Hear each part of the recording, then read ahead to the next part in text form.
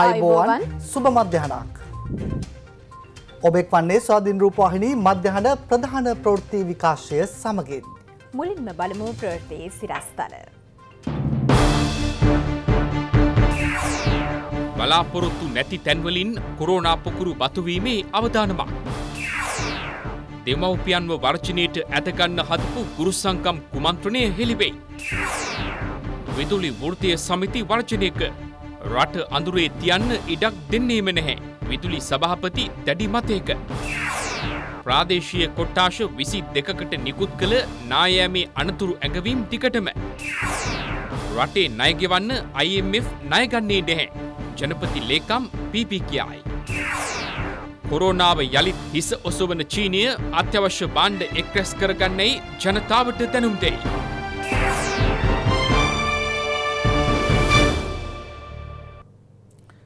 බලාපොරොත්තු වනේ නැති විදිහට ස්ථාන කිහිපයකින් කොරෝනා රෝගීන් වාර්තාවීමේ සුළු වර්ධනයක් පෙන්නුම් කරනව කියලා සෞඛ්‍ය අමාත්‍යංශයේ මාධ්‍ය ප්‍රකාශක විශේෂඥ වෛද්‍ය හේමන්ත හේරත් මහතා පවසනවා.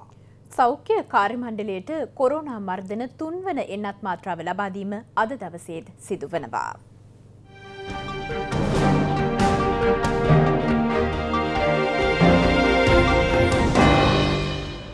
මෙරට සමස්ත කොරුණ ආසාධිතයන් සංඛ්‍යාව පන්ලක්ෂ හතලිස් දෙදහස් දෙසිය දොළහක් වනවා. සුවේ ලැබූ පිරිස පන්ලක්ෂ දහතුන් දහස් පන්සිය හතලියක් දක්වා ඉහළ ගියා. දාහතර දහස් නවසය දෙදිනෙකු තවදුරටත් ප්‍රතිකාර ලබනවා. කොරුණා මරණ දහතුන් දහස් සත්සී හැත්තෑවක් සිද වුණා.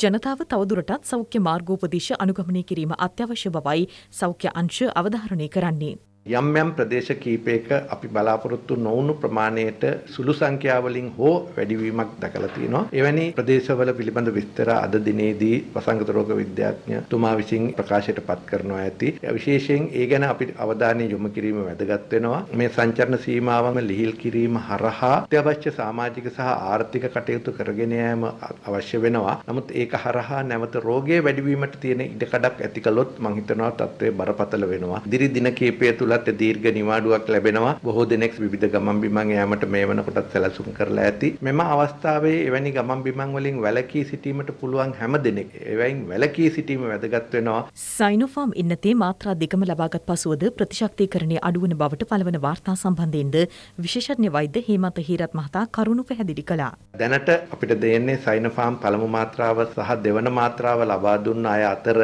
දෙවන මාත්‍රාව නිම කර මාස 3 ගත වූ අය ඊටම සුළු පිරිසකුයි මේ මොහොතේ ඉන්නවා නම් ඉන්නේ ඒ කාල සීමාව තුළ මේ තියෙන දත්ත සමාලෝචනය කරලා අවශ්‍ය තුන්වෙනි මාත්‍රාවක් ලැබීම නිර්දේශ වෙනවා නම් ඒ අනුව කටයුතු කිරීමට මේ කටයුතු සූදානම් කරනවා. සෞඛ්‍ය කාර්ය මණ්ඩල සඳහා කොරෝනා මර්ධන තුන්වන එන්නත් මාත්‍රාව ලබා දීම අද දිනේද ස්ථාන රැසකදීම සිදුවනවා. කොළඹ රිච්වේ ආර්යා ළමාරෝහලේ සෞඛ්‍ය කාර්ය මණ්ඩලයට මෙම මාත්‍රාව ලබා දීම ආරම්භ කෙරුණේ අද පෙරවරුවේ. එමෙන්ම වයස අවුරුදු දාසයත් විස්සත් අතර පාසල් දරුවන්ට ෆයිස එන්නත ලබාදීමත් වයස අවුරුදු හැට වැඩි වැඩිහිටියන්ට සයිනෝෆාම් එන්නත ලබාදීමත් මීට සමගාමීව සිදු කරනවා. කොරෝනා මර්ධන පළමු එන්නත් මාත්‍රාව එක් කෝටි පනස් හය ලක්ෂ හැත්ත එක් දහස් පන්සිය දහ දෙනෙකුට ලබාදී තිබෙනවා. එහි දෙවන මාත්‍රාව ලබාගත් පිරිස එක් කෝටි තිස්පන් ලක්ෂ එක් දහස් එකසේ හැත්තෑ පහක් වනවා. තුන්වන මාත්‍රාව ලබාගත් පිරිස නමදහස් එකසේ හතක් වනවා.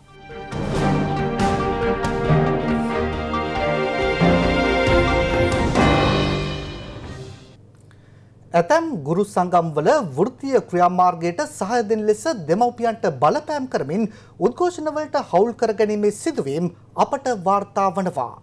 කෙසේ වෙතත් මෙම වෘත්තිය ක්‍රියාමාර්ග අසාර්ථක වූ බවයි දෙමව්පියන්ම සඳහන් කරන්නේ. ගුරු විදුහල්පති වැටු පිෂමතාවට විසඳුම් ලබා දෙමින් පසු පාසල් ආරම්භ කිරීමටද පියවර ගැනුණා.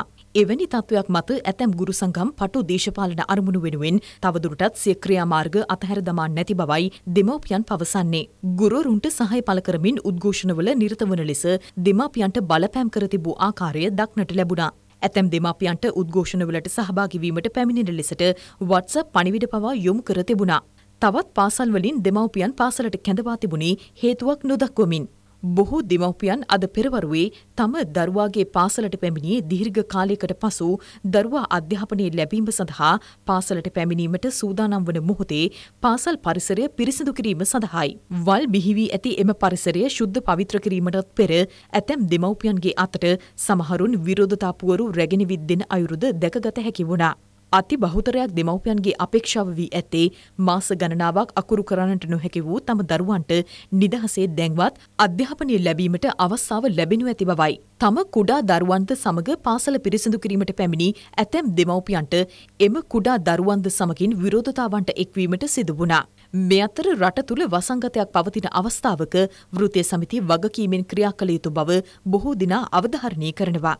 අපි කියනවා මේ වෘතිය සමිති නායකයන්ට ඔබලාගේ ප්‍රශ්න සාකච්ඡා කරලා සම්මුතිය විසඳගන්න මේ කොයිඩ් දහනමයත් එක්ක මේ රට දැඩි ආර්ථික අර්බෝධයක තිබෙන්නේ. මේ රටේ මිනිස්සු දැඩි පීඩාවට ලක්වෙලා තිබෙනවා. මේ රටේ ජාතික ආර්ථිකයට බලපාන විදිහට මේ කටයුතුල්ල නියලෙන්න එපා කියලා අපි ඒ වෘතිය සමිති නායකයන්ට ඉල්ලා සිටිනවා. කෙරවල පිටිය යුගදනව් බලාගාර සිද්ධිය මුල් කරගනිමින් විදුලි බල මණ්ඩලයේ ඒකාබද්ධ වෘත්තීය සමිති සන්ධානය අද විරෝධතාවක නිරත වනවා. කොහොම වුණත් වාණිජ කර්මාන්ත හා සේවා ප්‍රගතිශීලී සංගමය සඳහන් කරන්නේ ජනතා විමුක්ති පෙරමුණ රටට හිතකර සෑම ව්‍යාපෘතියකටම විරුද්ධ වුණු බවයි.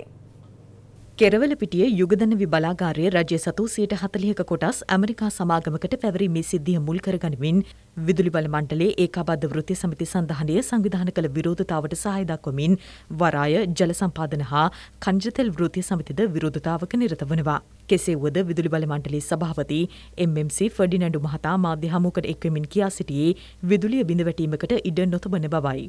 මේ සම්බන්ධයෙන් ලංකා විදුලිවල මණ්ඩල ඒකාබද්ධ වෘත්ති සමිති සඳහනී කැඳවුම්කරු රංචන් ජයලාල් මහතාද අදහස් පළ කළා. අපි ජනතාවට කියනවා ඔබ අඳුරේ තියන්න අපි කිසිසේත්ම බලාපොරොත්තු වෙන්නේ නැහැ. අපි වැඩ තීන්දුව කරන් තිබෙනවා. අපි කරන්නේ ප්‍රජාතන්ත්‍රවාදී දින මත දැක්වීමක්. ඒකට එරෙහි වෙන කාටවත් අයිතියක් නැහැ. වහාම මේ රටට අහිත කර මේ ගිවිසුම ඉල්ලා අස් කරගන්න කියලා ආණ්ඩුවට බල කරන්න කියන ඉල්ලීම අපි ගන්නවා.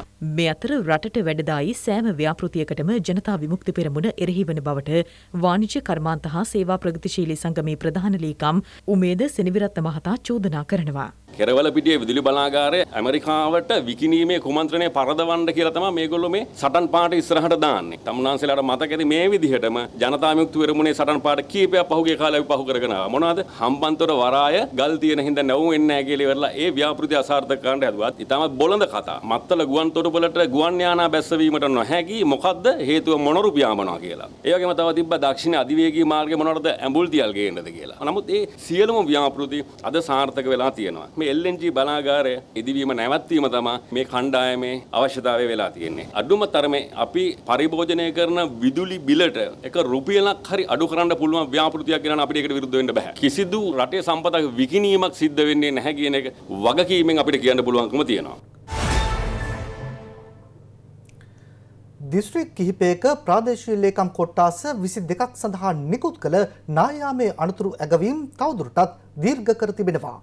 එහෙත් කුබුක්කන් ඔය ආශ්‍රිතව ගම් වතුර සම්බන්ධයෙන් නිකුත් කළ අනතුරු ඇඟවීම ඉවත් කෙරුණා. මේ අතර දිවයින ආශ්‍රිතව පැවති අඩු පීඩන කලාපය ක්‍රමයෙන් දිවයිනෙන් ඉවතට ගමන් කරමින් පැවතියද පස්වරුවේ ගිගුරුම් සහිත වැසි ඇතිවිය හැකි බව කාලගුණ විද්‍යා දෙපාර්තමේන්තුව පවසනවා. බදුල්ල ගාල්ල කළුතර මහනුවර කෑගල්ල මාතලේ නුවරලිය සහ රත්නපුර යන දිස්ත්‍රික්කවල ප්‍රාදේශීය ලේකම් කොට්ටාශ විසි දෙකක් සඳහන් නිකුත් කළ පූර්ව අනතුරු ඇඟවීමේ නිවේදනය තවදුරටත් දීර්ඝ කර තිබෙනවා. ඒ අද රාත්‍රී අට දක්වායි. අයහපත් කාලගුණයත් සමග ඇති වූ ආපදා තත්වෙන් දිස්ත්‍රික්ක දහයක ප්‍රාදේශීය ලේකම් කොට්ටාශ හතලිස් එකකට බලපෑම් එල්ල වී ඇති බව ආපදා කළමනාකරන මධ්‍යස්ථානය පවසනවා. පවුල් එක්දහස් හාරසිය හතලිස් හතරක පුද්ගලයන් පන්දහස් සත්සිය අනූ දෙනෙකු පීඩාවට පත්ව සිටිනවා. ප්‍රධාන ජලාශ කිහිපයකද වන්දොරටු විවෘත කර තිබෙනවා.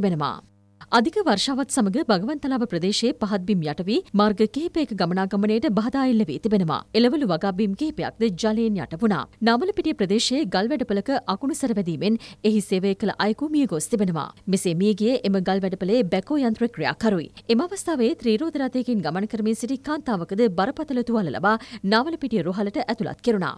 දිවිනේ බොහෝ ප්‍රදේශවලට අද පස්සරුවේද මිලිමීටර සිය ඉක්ම වූ තද වැසි ඇතිවිය හැකි බව කලකුණු විත්‍යා දෙපාර්තමේන්තුව පවසනවා. තාවකාලික තද සුළං සහ අකුණුද සිදුවිය හැකි බැවින් අනතුරු වළක්වා ගැනීමට අවශ්‍ය පියවර ගන්නා ලෙසයි ජනතාවට අවධාරණය කෙරෙන්නේ. මුහුදු ප්‍රදේශද විටින් විට රළු විය හැකි බැවින් දිවර සහ නාවික ප්‍රජාව ඒ පිළිබඳ අවධානයෙන් කටයුතු කරන ලෙස කලකුණු විද්‍යා දෙපාර්තමේන්තුව ඉල්ලා සිටිනවා. රටේ ණයගෙවීම සඳහා ජාත්‍යන්තර මූල්‍ය අරමුදලින් ණය ගන්නේ නැති බව ජනාධිපති ලේකම් ආචාර්ය පී.බී. ජයසුන්දර මහතා පවසනවා. කෙසේ වෙතත් එම අරමුදල සමග එක්ව තිරසර ආර්ථික කළමනාකරණයට මඟ සෙවිය යුතු බව ඒ මහතා සඳහන් කරනවා. ලංකාව ජාත්‍යන්තර මුල්ලි අරමුදලයි අතර තියෙන්නේ දීර්ඝකාලින ඉතිහාසයක්. මුල්ලි අර මුදලෙන් ණයක් ගන්න කියන එක තමයි ශ්‍රී ලංකාම බැංකුව ප්‍රකාශ කරලා තියෙන්නේ. හේතුව මුල්ලි අර මුදලෙන් අපි කිසියම් අපේ කෝටයකට ගැලපෙන විදිහට ඩොලර් බිලියන එකක් හරි දෙකක් හරි ගත්තට අපේ ප්‍රශ්න විදිහට දෙන්නේ නැහැ. මොකද ජාත්‍යන්තර මුල්ලිය අරමුදල ඇවිල්ලා ලංකාව ගෙවන්න තියෙන ණය ගන්න ඒ අයත් තමනයක් දෙන්නේ. අපිට මුල්ලි අර මුදලත් එක්කත් එකතු වෙලා හොයන්න තියෙන ණයක් ගන්න තරම් නෙමෙයි. මේ රටේ මේ තියෙන අර්බුදකාරී ව්‍යුහාත්මක වෙනස්කම් වලට මොනවද කරන්න ඕන වෙනස්කම් කියන එක. අද ලෝකේ කතා කරන්නේ තිරසාර මුල්‍යකරණය. අබලි ද්‍රව්‍ය ලෙස ලෝහ පිටරට යැවීම නතර කළ බව අමාත්‍ය විමල් වීරවංශ මහතා පවසනවා. දේශීය කර්මාන්ත සඳහා ලෝහවල පවතින හිගය සැලකිල්ලට ගනිමින් මෙම තීරණය ගත් බවයි අමාත්‍යවරයා ප්‍රකාශ කළේ. ලංකා කාර්මික සංවර්ධන මණ්ඩලයට අයත් කුරුණෑගල පන්නල කාර්මික ජනපදයෙහි අශෝක මැෂිනරි කර්මාන්තු ශාලාවේ ඉදිකිරීම් ආරම්භ කිරීම අමාත්‍යවරයාගේ ප්‍රධානත්වයෙන් සිදු කෙරුණා. කර්මාන්තපුරෙහි ක්‍රියාකාරීත්වය නිරීක්ෂණය සඳහාද අමාත්‍යවරයා සහභාගී වුණා. මේ රටේ ලෝහද්‍රව් අබලි ලෝහ හැටියට පිටරට යවමින් තිබුණා. ඒ නිසා මේ රටේ වාස්තු කර්මාන්තය ඇතුළු දේශීය කර්මාන්ත රැසකට අවශ්‍ය කරන අමුද්‍රව්‍ය දේශීය වශයෙන් සපයා ගැනීම අභියෝගයක් වෙලා තිබුණා. මේ නිසා අපි තීන්දුවක් ගත්තා අමාත්‍ය මණ්ඩල පත්‍රිකාවක් ඉදිරිපත් කළා අබලි හැටියට ලෝහ රටින් පිට කරන එක නවත්තන්න. මේ මගින් මේ රටෙන් එළියට ගිය විදේශ විනිමය ඩොලර් මිලියන් ගාණක් ඉතුරු කරගන්න අද අපිට පුළුවන්කම ලැබිලා තිබෙනවා. කොවිඩ් වසංගත තත්ත්වය හම්වේවද ඇතැම් ක්ෂේත්‍රවල අපනයන ආදායම වැඩි වී ඇති බව රාජ්‍යාමාත්‍ය අරුන්දික ප්‍රනාන්දු මහතා පවසනවා. ස්වාධීන රූපවාහිනී හත්වනි පෑ වැඩස්ටාන්ට එක්වෙමින් රාජ්‍යමාත්‍යවරයා මේ බව කියා සිටියා. පොල් සංවර්ධන අධිකාරයේ සභාපති කීර්ති වීරසිංහ මහතාද වැඩස්ටාන්ට එක් වුණා. ගෝලිය වසංගතයට එන්නත් කරණය කලා එන්නත් කරණයට මූලික වශයෙන්ගේ ඩොලර් මිලියන හයිසියක්. මම ඉතාමත් සතුරින් කියන මේ ඩොලර් මිලියන හයිසිය දෙන්ඩ පුළුවන් වුණා අපිට පොල් සංවර්ධන අමාත්‍යන්සේ සහ පොල් සංගන්ධන අධිකාරය ඇතුළ අනිකුත් ආයතන වලින් ඒ ඩොලර් මිලියන හයිසිය ගිය අවුරුද්ද අපි ඉපයපු ආදායම. මේ ගෝලිය වසංගතය ඉතාමත් නරක විදිහට ගෝලිය වශයෙන් සහ දේශය වශයෙන් තියෙද්දී අපිට පුළුවන් වෙලා තියෙනවා ඩොලර් මිලියන 800ක සීමාවට දැන් මේක ගේන්න. අපේ රටේ විදේශ විනිමය ගේන ප්‍රධාන අංශ තමයි එකක් විදේශ ශ්‍රමිකයන්ගෙන් ලැබෙන මුදල්. ඊළඟට ඇඟලුම් ක්ෂේත්‍රය සහ සංචාර කර්මාන්තය. ඒවල විශාල වශයෙන් ප්‍රශ්න ඇති වෙලා තියෙන අවස්ථාවක අපනායන ආදායම රටේ වැඩි වෙලා තියෙනවා. එකක් තමයි පැවිලි කර්මාන්තය අපනයනය කෘෂි කර්මාන්තය අපනයනය අනිකුත් කර්මාන්ත දීවර කර්මාන්තය ඒකේ ප්‍රධාන කොටස්කාරය කැටියට පොල් සංවර්ධනය සහපොල් ආශ්‍රිත කර්මාන්ත තුළින් විශාල විදේශ විනිමයක් අද වෙනකොට ගේනවා රාජ්‍ය වතු සමාගම් දෙක. පහුගේ අවුරුදු පහේදිම පාඩුපිට පාඩු ලබල තොර මේ වත්තු අපි හරියට කරනතන් එක ජාතික අපරාධය. හැබැයි පහුගිය කාලේ එහෙම තමයි තිබ්බේ. අද මම සතුටු වෙනවා. අක්කර 26000ක් තියෙනවා මගේ සමාගම් දෙක කුරුණෑගල වැලි සමාගමත් හලාවත වැලි සමාගම දෙකම ලාබ ලබන තත්වයට ගෙනන්න ඒක නිසා මතන අපි ඉතාමත් සතුරන රජයක් ඇරයට හොද ඔබතුමාලා මේ විදේශ වෙළඳ පොළ තුළ ඩොල මිලියන අටසියක් උපයනකොට දේශය වෙළඳ පොළ තුළ පොල්වල මිල පොල්තෙල්වල මිල පාර්භකර දරාගන්න පුළුවන් තැනක පවත්වා ගැනීම වෙනුවෙන් නිෂ්පාදන වෙළඳ පොල් නිකුත් කරන්න ඔබතුමාට බාධාවක් තිබෙන සමහරලාට දැනුත් පොල් ගෙඩියක් රුපියල් 65 75යි පොල් සංවර්ධන අධිකාරියේ කාර්යභාරය තමයි විදේශ විනිමය ඉපැයීම පොල් ආශ්‍රිත නිෂ්පාදන අපනයනය කිරීම තුළින්. එහිදී අපි වැඩියෙන් කර්මාන්තරයේ දෙව්වොත් දේශීය පරිභෝජනයට හිඟතාවයක් වෙනවා. එතකොට දේශීය පොල්වල මිල ඉහළ යනවා. දේශීය පොල්වල මිල ඉහළ ගියොත් රටේ මිනිස්සු කෑ ගහනවා. පොල් මිල ඉහළ ගියොත් කර්මාන්තකරුවාට ඒ වියදම දරා ගන්න හැකියාවක් නැහැ. කර්මාන්තකරුවත් සන්තෝෂ කරන්නට ඕනේ. નિયમિત මිලකට පොල් ලබා දෙන්නට ඕනේ. රටේ පාරිභෝගිකයටත් පොල් ලබා දෙන්න ඕනේ. රටේ අවශ්‍ය පොල් තෙල් ප්‍රමාණයත් ලබා දෙන්න. මේ සංසිද්ධි තුනම තුලනය කිරීම තමයි අපි අතින් වෙන්නේ. අපි මේ ඔක්කොම කල්පනා කරලා බලන්නට ඕනේ. එහෙනම් අපිට අද මේ පොල්වල ලෝකයේ තියෙන ඉල්ලුමට සරණ සැපයුමක් නැහැ. ද අපි කඩිනෙමින්ම පොල් වගා කිරීමේ මණ්ඩලය පොල් පර්යේෂණ ආයතන මේ පොල් සංවර්ධන අධිකාරිය තුනම එක්කහුවල එක පැත්තකින් පොල් වගාව සීඝ්‍රයෙන් දියුණු කරගෙන යනවා. අනිත් පැත්තෙන් අපි මේක තවත් සක්‍රිය කරන්න ඕනට හන්ද තමයි අපි ප්‍රති අපනයන කලාපයක් අපි හම්බන්තොට ආරම්භ කරේ. රාජපක්ෂ පවුලේ උතුම් මෑණියන් ලෙස ගෞරවයට පාත්‍ර වන දෝන දන්දිනා සමරසිංහ දිසානායක මහත්මිය සිහිපත් කරමින් උත්තම මාතා ගුණසමරු පූජා දෙදහස් විසියක උත්සවය අද පෙරවරුවේ පැවැත්වුණා. ඒ අග්‍රාමාත්‍ය මහින්ද රාජපක්ෂ මහතාගේ ප්‍රධානත්වයෙන්.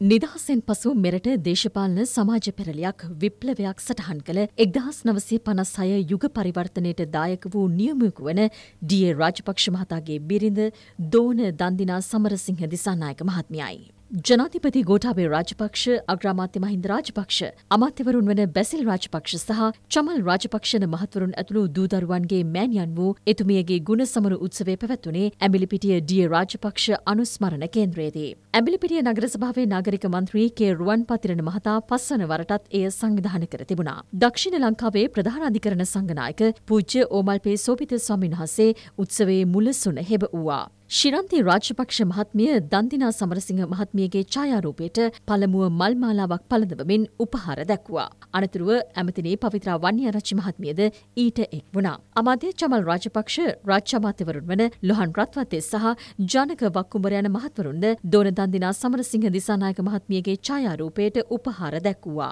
දන්දිනා සමරසිංහ දිසානායක යනු කුමන ආකාරයේ චරිතයක්ද යන්න එතුමියගේ දරුවන්ගෙන් තේරුම් ගත හැකි බව ගුණ සමරු දෙසුම ආරම්භ ආරම්භ කරමින් රජයේ ප්‍රති අධ්‍යක්ෂ ජනරාල් මොහන් සමරනායක මහතා පැවසුවා.